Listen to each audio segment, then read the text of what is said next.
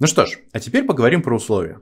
Условия, без них, ну, на самом деле практически невозможно писать код. И если вы хотите, вот видите, если я говорю, если вы хотите узнать условия, переходите на следующий слайд, и мы там уже увидим наше первое условие. Условия начинаются с ключевого слова if. Обратите внимание, что if это именно ключевое слово. Что это значит? Это значит, что это особенная часть синтаксиса. То есть вы с этой частью синтаксиса можете делать только что-то одно. Например, начинать условие. Вы, скажем, не можете создать переменную, которая называется if, да, потому что это ключевое слово. И условие выглядит так. If, дальше идет само условие, двоеточие, новая строка, 4 пробела, и дальше идет тело условия. Ну, скажем, если у нас есть какая-то переменная x, которая может быть равна, скажем, в каких-то случаях нулю, в каких-то случаях 5, да, если мы, например, смотрим э, остаток отделения, да, то есть на 5. У нас может быть либо 5, либо 0, либо там еще какие-нибудь числа. Вот в нашем случае, если остаток отделения, например, равен 5, то мы хотим написать, что x равен 5. Ну, вот такая у нас небольшая задачка. Мы можем это сделать. Но важно, отступы. Одна из основных ошибок, которые делают все новички, которые пришли в Python из других языков программирования или которые начинают с Python как с первого языка программирования, многие пишут вот так. Многие пишут if x равно равно 5, двоеточие, новая строка, не ставят пробелы и пишут условия. В питоне пробелы это важный часть, важная часть синтаксиса. То есть, соответственно, когда вы используете пробел, вы говорите, что это отступ. Эти отступы, они значимы, потому что при помощи отступов Python формирует, например, в нашем случае тело этого блока if. Если вы их не поставите, у вас будет синтаксическая ошибка, и ваш код работать не будет. Поэтому, пожалуйста, так не делайте. А, ставьте отступы, 4 пробела.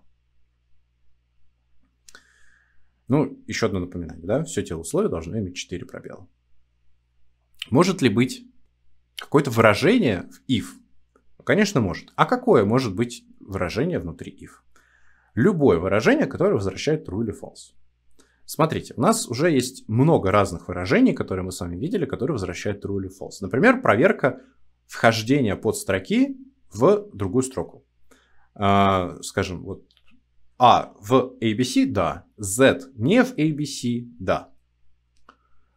Или, например, мы сравниваем что-то. Hello world равно hello world. Да, равно. Да? То есть вот такие вот выражения мы можем помещать в блок условия if. Также у if может быть else. То есть в другом случае, в противном случае.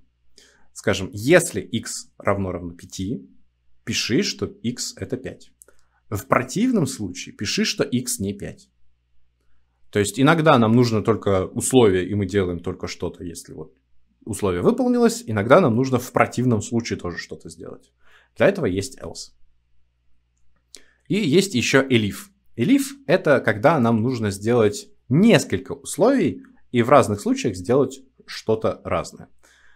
Elif используется после первого if. Например, мы пишем if x равно равно 5, делаем что-то. Потом спрашиваем, а вот если он равен 6, то мы делаем что-то. Естественно, я здесь показываю, что у нас э, в теле условия может быть много разных Э, выражений, да, то есть, соответственно, можно напечатать print x равно 6, потом напечатать улыбочку, да, и, естественно, у нас могут быть пустые строки внутри этого условия.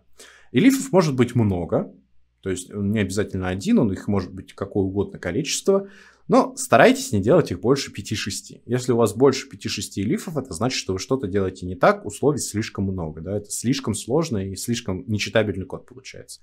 И else может как быть, так и не быть. Да? То есть это опциональная часть синтаксиса. Он всегда его можно либо поставить, либо не поставить. Ну что ж, мы знаем условия. Все. Про них больше особо нечего рассказать, потому что это достаточно простой тип данных.